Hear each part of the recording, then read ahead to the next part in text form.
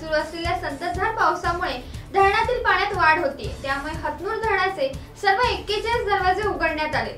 धरणातून एक लाख त्रेपन्न हजार पाचशे चाळीस क्युसेक वेगाने नदी पात्रात पाण्याचा विसर्ग सुरू आहे.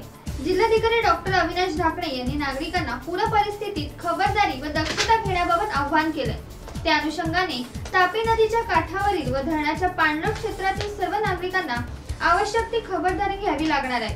विशेषतः रात्रीच्या वेळी नदी नाल्यांच्या पाण्याची पातळी वाढण्याची दाट शक्यता असल्याने नदी पात्रात पाणी असताना आत जाऊ नये.